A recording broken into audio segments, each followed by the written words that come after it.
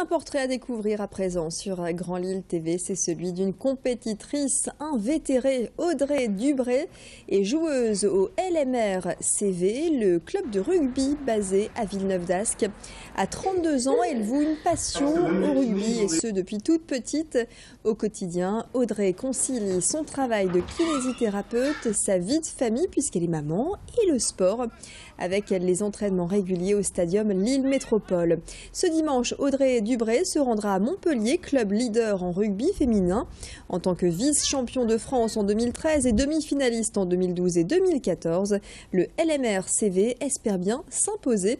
Audrey, elle, répondra à l'appel comme d'habitude pour s'imposer sur les terres de l'Hérault.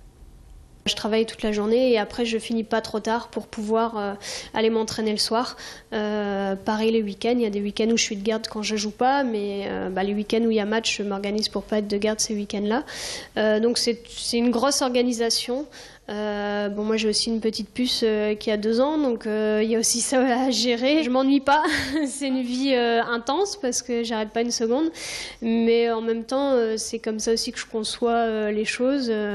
voilà, entre le travail, le sport, je, je, crois que je peux pas m'arrêter de faire du sport de toute façon. C'est la vie, voilà, dont, dont, je rêvais et que j'avais envie de, de, de, faire, et, et voilà, j'essaye du, du coup de tout conjuguer.